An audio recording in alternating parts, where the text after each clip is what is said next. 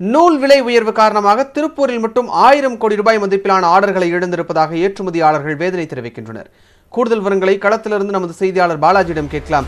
பாலாஜி ஏற்கனவே பெற்ற ஆர்டர்களுடைய நிலை என்ன? புதிதாக ஆயிரம் கோடி ரூபாய் அளவிற்கு ஆர்டர்கள் இழக்கப்பட்டிருப்பதாக நம்ம பார்க்குறோம். ஏற்கனவே பெற்ற ஆர்டர்களுடைய நிலைமை நிலை என்ன? தற்போது திருப்பூரினுடைய நிலவரம் என்ன?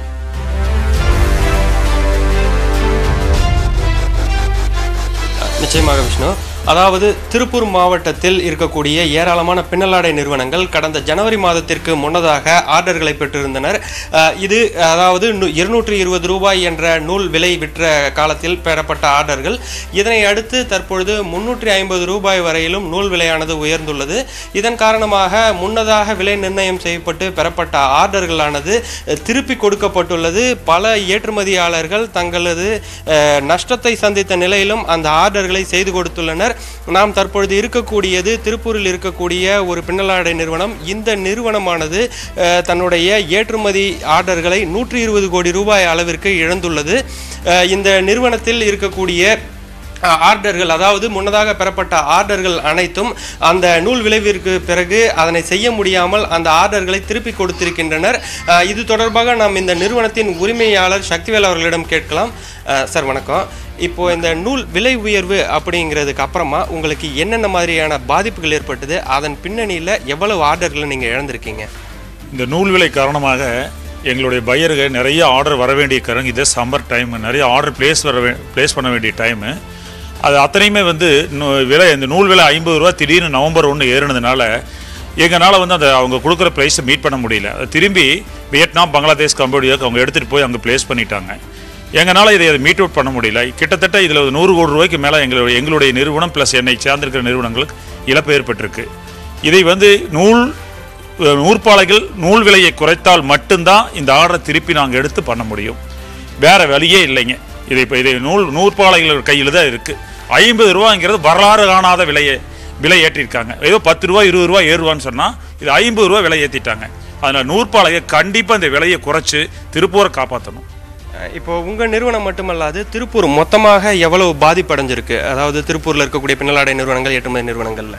கிட்டத்தட்ட ஆயிரம் கோடி ரூபாய்க்கு மேலே இந்த இருபது நாளில் ஒன்றாம் தேதிக்கு அப்புறங்க ஆயிரம் கோடி ரூபாய்க்கு மேலே இழப்பு ஏற்பட்டிருக்குங்க. திருப்பூரில் மட்டும் நான் சொல்ல சராசரியாக சொல்கிறேன் மேலே தான் ஆயிரம் கோடிக்கு மேலே தான் ஆர்டர்களை திரும்பி வேற கண்ட்ரியில் பிளேஸ் ஆயிடுச்சுங்க இங்கே இங்கே வந்து வர வேண்டிய ஆர்டர் அங்கே போயிடுச்சு வர்த்தகம் பாதிப்பு நூல் விலை ஏற்றத்தினால. இதை மத்திய மாநில அரசுகள் பார்த்து எங்களுக்கு இது வந்து நல்லது பண்ணி கொடுத்தா தான் கரெக்டாக நாங்கள் தொழில் பண்ண முடியும். இல்லைன்னு தொழில் வந்து ச நசிவடைஞ்சிடும்.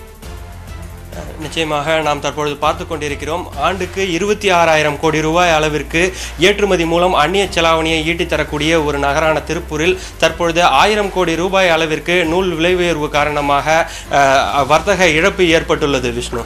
பாலாஜி இப்போ நூல் விலை உயர்வதற்கான காரணம் என்ன? நூற்பாலைகள் விலையை குறைக்கணும்னு சொல்லி தற்போது பேசியவர் சொன்னாங்க. இந்த சூழ்நிலையில அவங்க விலையை உயர்த்துவதற்கான காரணம் என்ன? காரணம் இல்லாமல் இந்த நூல் விலை உயர்ந்திருவதற்கு உயர்ந்திருப்பதற்கான வாய்ப்புகள் இல்லை இல்லையா?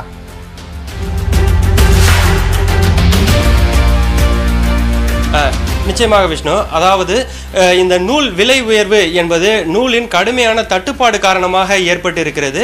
நூல் தட்டுப்பாடு என்பதும் தற்பொழுது இருக்கக்கூடிய ஒரு சூழ்நிலையில் ஒரு செயற்கையான தட்டுப்பாடாக மட்டுமே இருக்கிறது என ஏற்றுமதியாளர்கள் தெரிவித்து வருகின்றனர்.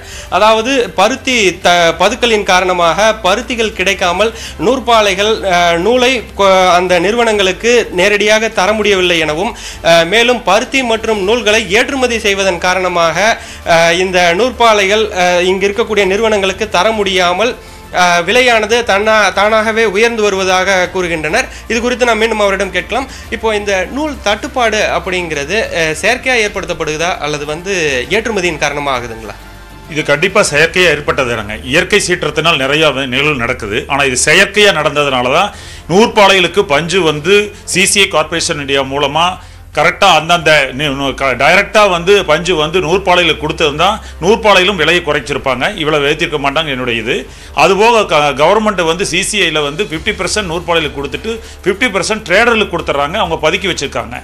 அது எப்போ வந்து விலை ஏறுதோ அப்போ வந்து அதை வந்து பதுக்கி வச்சிருந்த பஞ்சை மறுபடியும் வந்து நூற்பாலைகளுக்கு கொடுக்குறாங்க. இதை வந்து ஆனாலும் பஞ்சு இவ்வளவு வே- பஞ்சினுடைய விலைக்கு தகுந்த மாதிரி நூற்பாலைகள் விலையை வந்து ஏற்றிருக்க ரொம்ப அதிகமாக ஏற்றிருக்காங்க இதுக்கு அதுக்கு கணக்கு போட்டு பார்க்கும்போது ரொம்ப அதிகமாக இருக்குது பஞ்சு விலைக்கும் நூல் விலைக்கும் சம்மந்தம் இல்லை.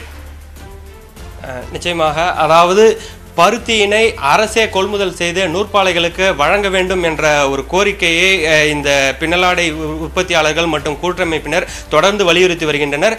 பருத்தியினை அரசே கொள்முதல் செய்தால் மட்டுமே தற்பொழுது இருக்கக்கூடிய சூழ்நிலையில் இந்த பின்னலாடை தொழிலை காப்பாற்ற முடியும் என்பதே இங்கு இருக்கக்கூடிய தொழிலாளர்கள் மற்றும் ஏற்றுமதியாளர்களின் கோரிக்கையாக உள்ளது விஷ்ணு. ஒருபுறம் பங்களாதேஷ் வியட்நாம் போன்ற நாடுகள் திருப்பூருக்கு வரக்கூடிய ஆர்டர்களை அவர்கள் எடுத்துச் செல்லக்கூடிய சூழ்நிலையில் தற்போது நூல் விலை ஏற்றம் காரணமாக அங்கு தொழில் நலிவடைவதற்கான வாய்ப்புகள் மிகவும் அதிகமாக இருப்பதாக களத்திலிருந்து வரக்கூடிய தகவல்களை நாம் பார்க்கிறோம்.